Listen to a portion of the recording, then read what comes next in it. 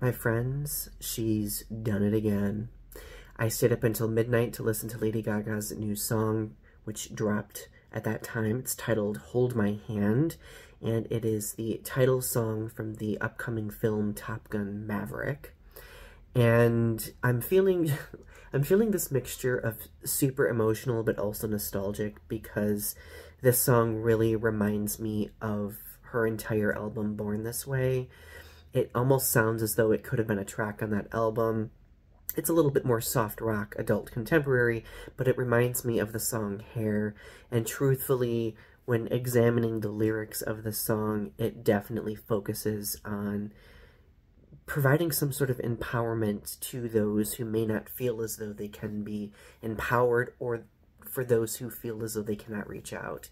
So, like, the, the pre-chorus, a couple of lines say, I see that you're bleeding. You don't need to show me again, but if you decide to, I will ride this. I won't let go till the end.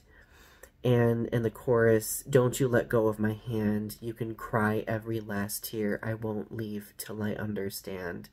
Promise me, just hold my hand. It's a validation of pain and emotion and expression, and that if that's one thing that Gaga excels at with her music, among many things, I think it is the ability to empathetically connect with her audience, and I really feel like this song does that. I really hope that this song blows up. I hope that there's going to be a music video for it because honestly, I can't get enough of it. I love that it's adult contemporary, but it also incorporates some like electronic pop elements some classic rock elements. Like there's a, a hodgepodge of stuff that Gaga has woven into her music since the beginning, and we see this take shape through Hold My Hand as well. So, considering the horrors in this world right now, considering the news about the Supreme Court's leak of the potential overturning of Roe versus Wade, and with all of these don't say gay bills happening from state to state, we need some empowerment right now.